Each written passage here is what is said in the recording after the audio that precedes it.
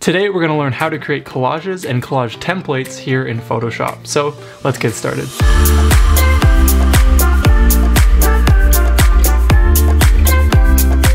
What's happening friends? My name's Brendan from BWillCreative.com and on this channel we love to talk about photography, photo editing, and all of that good stuff. So if that sounds like something that you would be into, make sure to hit that subscribe button so you never miss a video.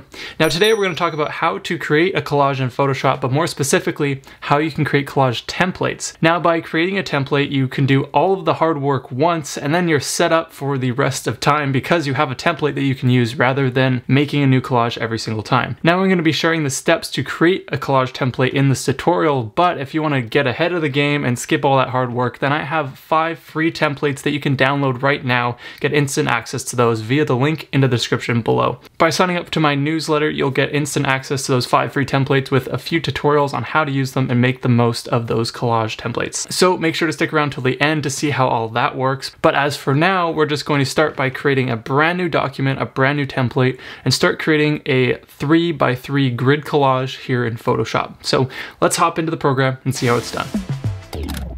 Here at the Photoshop start screen, the first thing we'll do is create a new document. Now the size of your document is going to depend on what you want to do with your collage, but for this example, I'm just going to create a nice square document that you can pretty much use for whatever you want. In that case, I'm going to go to create new, and then I'll go and change my width and height to 2000 so it's an equal size on both ends. And then I'll change my resolution to 250 so I have a nice high resolution if I decide to print this or something like that. With all this ready to go, I'll go ahead and click create. And now we'll have a new document here in Photoshop. Now for this collage, I want to make a 3x3 grid, so essentially there'll be three rows of three images. And rather than having to divide all of this up by eye, you can actually do this very easily with a few shapes. So I'll first go and create a new layer and then I'm going to fill it with my foreground color, which in this case is a teal. I'll just go and make it a dark gray here. And then with my new layer selected, I'll hold Alt or Option and delete to fill that color with my foreground color, which in this case is the dark gray. So with my layer filled with my foreground color, I'll press Command or Control T to transform it. And then up here on my settings bar, you'll see a bunch of different options that we have. And this is what we can use to basically size our square to fit the general position of the images that we want. So make sure that your reference point is checked off here. And then you can click on any of these boxes. And in this case, I'm gonna click on the top corner and that's gonna rescale my entire layer to the top corner for me. Now since I want my collage to have three rows of three images, that means that each image needs to take up exactly one third of my canvas. And how exactly am I supposed to know where that is? Well, the easiest way to do that is with these percent values up here. And by taking 100%, which is the full length of the canvas, I can divide that by three and it ends up being 33.33, which gives us the percent value for our layer. So going to 33.33, and that will rescale that color fill shape to the top corner of my image in exactly one third the size of the entire width. Now to give you a bit of a different example, if I wanted this to cover half of my image, I would go and type in 50%, and then that's gonna fill up half of my canvas. And you can rinse and repeat that with any different size. It all depends on how many images you want to add into your collage per row. So again, back to 33.33%, which in my case is going to create three rows of three images and then I'll click the checkbox to commit to that. Now you might be wondering what this shape actually is doing for us, and this is gonna act as the template to clip our images to. So later on in this tutorial, I'll be showing you how to take your image and apply it so it only fits within this shape. So that means that we need to duplicate this shape over and over until it covers the entire canvas. And that sounds a little bit complicated, but I promise you it's actually very simple. All you have to do is from here, you can either duplicate your layer by pressing Command or Control J, or the way I like to do it is by holding Alt or Option with your Move tool selected and clicking and dragging over, and it's gonna automatically duplicate and move that layer yeah and then it'll snap to wherever the middle position is. And now you have two image blocks. While you're doing this, it's important to have your snap feature on. So going up to view, make sure that snap is checked off or you're gonna have a hard time positioning everything properly. I'm gonna do that one more time, holding Alt or Option, clicking and dragging over, and then positioning it in the final part of my row. Now, if you notice here, I have a white line, and this is totally common. This will sometimes happen to you while you're positioning these shapes. What you can do is select that layer that is causing the problem. You can nudge it with your arrow keys just by tapping those arrow keys, or you can hold shift and then click and drag out with your move tool selected there and it will just reposition that, slightly rescale it to the point that it gets rid of that white line and it's so minute that you won't even know the difference. So now at this point we have a solid line that is basically broken up into three separate layers here as you can see. So to make life easy for us I'm going to rename everything to shape 1, shape 2, and shape 3 based on their position. So this first one here I've renamed to shape 1, the second one I'll call it shape 2, and the third one I'll call to shape 3. Now if you're like me, you might have a hard time imagining what everything looks like when it's just a solid color like this, so you can go and change the color of each layer just by holding Command or Control, making sure that layer is selected, and then you can go change your foreground color to something else, I'll pick a lighter gray, and then hold Alt or Option and Delete to fill your active selection with your foreground color, which is going to perfectly fill that selected layer. So I'm going to do that one more time, select my layer 3, hold Command or Control, click on my layer thumbnail to create an active selection, and then I'll go and choose a slightly brighter color and press Alt or Option and Delete to fill that with that light color. Press Command or Control D to deselect that. And now we have three very clearly defined boxes for us. So each one of these boxes is going to represent a different image in the collage. So from here, all the hard work is done and we're just going to group these together to make life easy. So holding Shift and clicking between your top and bottom layer, we'll press Command or Control G to group them, and I'll rename this to top row. Now, rather than going through the steps of creating all these squares again, which would be a serious pain and a waste of time, you can just duplicate this row two more times to fill in the rest of your collage. So pressing Command or Control J to duplicate that top row, I'll rename this to middle row, and I'll grab my move tool, click and drag down, and then it will reposition itself to match right in the middle like so. And then I can do that one more time, pressing Command or Control J on the middle row, renaming this to bottom row this time. And yep, you guessed it, we're gonna grab our move tool, drag it down, and position it right at the bottom of our canvas. Now, if you're like me and you have this white line between your shapes, all you have to do is click on the middle row. You can nudge it with your arrow keys, or you can hold the shift key and just extend out that row by the slightest bit to fill in that gap. Now at this point we have all of our collage complete. It's broken up into three separate columns and three separate rows. If you go into each group you can see that you have a shape 1, shape 2, shape 3 working itself from left to right. So this is going to make life very easy when you're going to position the images in your collage. Now just because I would like these to be different colors again, I'm going to just change the colors of the middle row just like we did before. Holding Command or Control, clicking on the layer, changing the color, holding Alt or Option and Delete, and rinsing and repeating that for the rest of the row.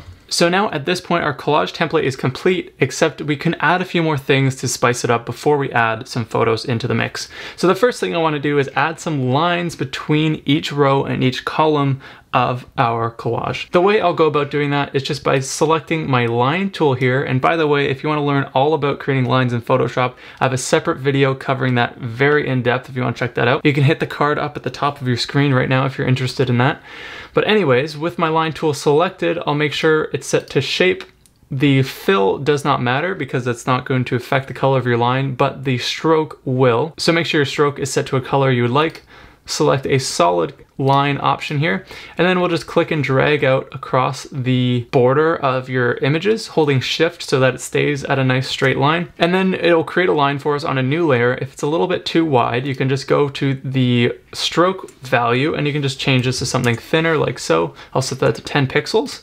And that looks a little bit better to me. So just a nice subtle border. Now to make life easy, I'll select that line layer, press Command or Control J to duplicate it, grab my move tool, and then I'll just click and drag that down below here like so. And now we have two separate lines for our rows. Now I'll shift click both of these lines, press Command or Control G to group them, and I'll call these two horizontal lines. Rather than wasting time creating two more lines, we can just duplicate the ones we just created by selecting a horizontal lines layer, press Command or Control J, rename this to vertical lines, and then we'll grab our move tool, go right to the corner here till we see the curvy arrow. Then we can rotate that around, hold shift so it locks to 90 degrees, and then we can just reposition it till it's between our different image blocks here. And with that, we've now created a border around each individual image block using our line tools. So you might be thinking, wow, this is a lot of effort to just create something that doesn't even have images yet. But the point of this is we've now created a template that you can save for later and you can easily drag and drop photos into this collage for years to come. So if you're happy with how your collage template looks, this is the template that we have for now. We can go up to File, Save As, and then we'll go down to Save as a Photoshop document. And then that's going to allow you to access this exact file later on to drag and drop your images. Now again, if you want to skip this step of the tutorial, I've made life easy for you and made five free collage templates that you can download right now via the link in the description below. So if you like saving yourself some time and avoiding a bit of extra work, then those templates are going to be super helpful for you. So now at this point, let's start to add in our images. Now we can really create the collage because the template and the hard work is done. At this point, since all of our image blocks are separated and easily found on their own layers, all we have to do is drag and drop our photos where we want them to go. So what I'm going to do to make life easy is rather than importing all nine of these pictures individually, I'm going to import them all together into one document. To do that, I'm going to go up here to File, down here to Scripts, and over here to Load Files into Stack. Making sure that the Files option is selected, I'll hit Browse to find them on my computer here. I'll select my collage folder where I've already added all of my images that I want to make life easy. With all those selected, I'll click Open making sure that they're all listed here and then we'll go ahead and click OK. Depending on how many photos you're using, this may take a little bit longer to download everything, but it's going to basically open one single document and add everything as their own individual layer in Photoshop here. From here, we want to convert each layer into a smart object by right clicking and going here to convert to smart object. We have to do this individually so that each layer can be resized without any loss of quality when we bring it over into the collage. With all of my layers converted to smart objects, I'll shift click all of them, I'll press command Command or Control G to group them, and I'm gonna call these two images. With that group selected, I'm gonna grab my move tool, click and drag this up and over into my collage document and drop it in there. Now, depending on the size of your canvas, the images are gonna either look super big or super small, but all you have to do is do a bit of rescaling. For now, we're just going to drag and drop the photos that you want in certain areas to their according row. So I'm not gonna be too specific about it. I'll start with my top row here grab my first three images by shift clicking them, and I'll just drag them over to my top row group, and then I'll split them up into their individual shapes. So what you want here is to have your photo directly above a shape, so then that way you can right click on it and go up here to create clipping mask. So what that will do is make your photo only visible within that one shape. You can't really see it right now, so because of all the other images, so let me just quickly turn off those. And now you can see that our one shape here is filled with our image because of the clipping mask. All we have to do now is resize that image to fit within our square. With my move tool, I'll just drag this down to rescale it to something more suitable in size continue to scale until I have a nice position within my first grid here. I'll click the checkbox to commit to that. And now the first image is placed. All we have to do now is rinse and repeat that process for all the blocks in our image. So here's how to do it one more time. Turning on that image layer that we're gonna use now, I'll right click on that, go to create clipping mask, making sure it's directly above the layer you want it to show up in. I'll then press Command or Control 0 to zoom out, fit that image, that selected image to the screen. With my Move tool, I'll rescale that down to fit better within that one square. And then we'll do that one more time with the final image in this row. Command or Control 0 to zoom out, grab the Move tool, rescale, and position it where you would like.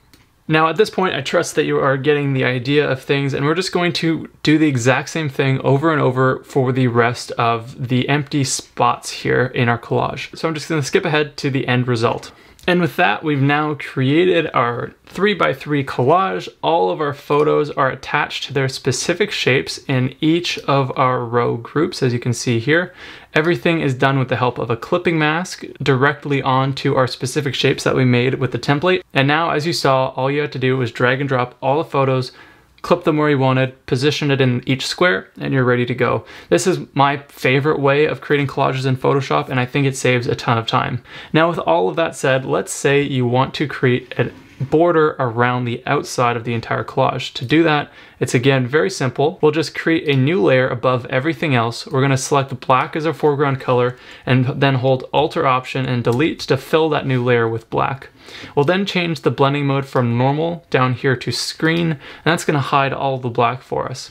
But what we can now do is add a outline to this photo. So double clicking on that black layer, we'll go down here to stroke, make sure position is set to inside, and we'll set the color to match with our grid, which is the white here. And then I can change the size accordingly to make the border thicker or thinner depending on the look you're going for. So that looks good to me there. I'll click OK, and now our collage is complete. So if you enjoyed this tutorial on how to create collages in Photoshop, then make sure to hit that like button as it really does make a difference. And also consider subscribing so you never miss another tutorial. Once again, if you want to speed up this entire process and you haven't already downloaded them, make sure to click on the link down below in the description to get access to those five free collage templates so you can pretty much skip this whole process and just add the photos straight into your collage. Anyways, guys, that's all I have for you for today. Again, my name is Brendan from BWillCreative.com and I'll catch you back here next time for another new tutorial. See you then.